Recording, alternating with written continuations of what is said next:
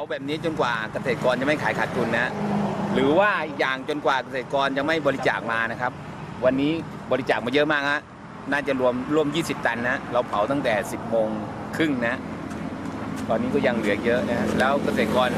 จากหลายจังหวัดนะฮะโทรมาบอกว่ากำลังเดินทางมาเอาปาล์มมาให้นะก็ต้องรอนะฮะรอครับเราจะเผาจนกว่าว่าเกษตรกรไม่ขาดทุนราคาจะปรับขึ้นหรือว่าจนหมดเชื้อเพลิงนะครับครับ ตอนนี้เราเรียกร้องให้ทำ เอามาผลิตกระแสไฟฟ้าที่กระบี่นะฮะแล้วผมก็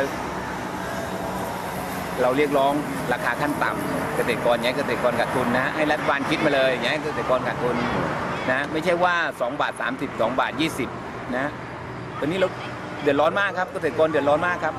ขณะนี้เท่าที่ลองออกมาเอ่อเคลื่อนไหวเนี่ย แต่ว่าราคากลับลดลงต่อเนื่องนี่มันเพราะสาเหตุอะไรฮะก็คือคิดง่ายๆนะการแก้ปัญหาของนโยนโยบายรัฐบาลเนี่ย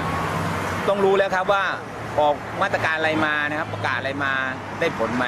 ดูจากราคาที่ลงดิ่งทุกวันนะฮะรัฐบาลบอกว่าจะเอาผลิตกระแสไฟฟ้าที่บางกงราชบุรี ราคาก็ลงบีกเห็นไหมครับ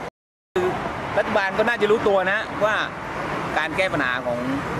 ของภาครัฐเนี่ยไม่ตรงจุดนะครับ